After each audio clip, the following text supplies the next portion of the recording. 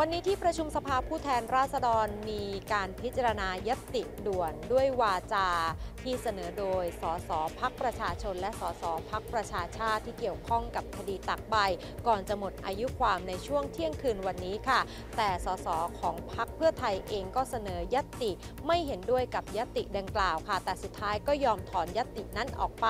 เพื่อต้องการที่จะรบรอยเลือดและคราบน้ำตา แต่ขอให้สมาชิกอภิปรายอย่าเติมเชื้อไฟ เพิ่มความขัดแย้งค่ะ ขณะเดียวกันรัฐมนตรีว่าการกระทรวงยุติธรรมยืนยันว่าไม่เคยช่วยให้ใครได้หนีคดี และรัฐบาลเองก็เสียใจกับเหตุการณ์นี้ค่ะ ดยการประชุมสภาผู้แทนราษฎรวันนี้ที่มีนายวันมูฮัมหมัดนอมาทาประธานสภาทำหน้าที่ประธานการประชุม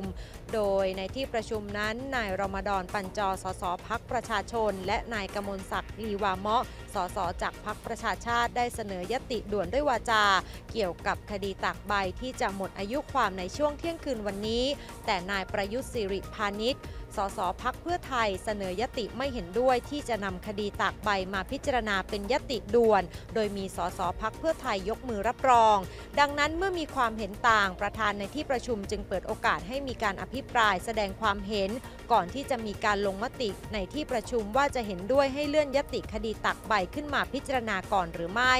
จากนั้นนายรมฎอนอภิปรายถึงเหตุผลในการเสนอยติค่ะว่า เหตุการณ์ตักใบมีความรุนแรงที่มีผู้เสียชีวิตจำนวนมาก และเป็นจุดเปลี่ยนความสัมพันธ์ระหว่างรัฐและประชาชน ดังนั้นต้องสาสางเรื่องดังกล่าวอย่างมีวุฒิภาวะ เพื่อหาข้อยุติโดยทางออกทางการเมือง พร้อมย้ำว่าขณะนี้กระบวนการยุติธรรมถูกท้าทายและอยู่ในภาวะติดตันทำให้เกิดคำถามว่าประเทศกำลังปกครองด้วยจริยธรรมหรือไม่ และความยุติธรรมจะเกิดขึ้นหรือไม่ แม้วันนี้ใกล้จะหมดอายุความแล้ว รัฐบาลก็ต้องเร่งตามตัวผู้ต้องหามาดำเนินคดีโดยเร็วค่ะ ด้านนายกมลศักดิ์อภิปรายถึงเหตุผลในการเสนอยติว่าสถานการณ์ขณะนี้มีความเป็นห่วง ขออย่าเบี่ยงประเด็น อย่ามองคนฟ้องเป็นจรใต้ หากไม่ใส่ใจก็เกรงว่าคดีนี้จะเป็นเงื่อนไขสร้างความขัดแย้งค่ะ ขณะที่นายประยุทธ์เองก็ลุกขึ้นแสดงความเห็นว่าตนลุกขึ้นมา ไม่ได้หมายความว่าจะไม่เห็นด้วยในทุกประการที่นายรมฎอนและนายกมลศักดิ์พูดมา ตนเสียใจกับผู้เสียหาย แต่การจะเรียกร้องให้นายกรัฐมนตรีต้องรับผิดชอบ ตอนนั้นก็เพิ่ง 10 กว่าขวบ พร้อมย้อนถามต่อให้ตนหรือประธาน หรือเป็นนายกรัฐมนตรีก็ไม่รู้จะทำอย่างไร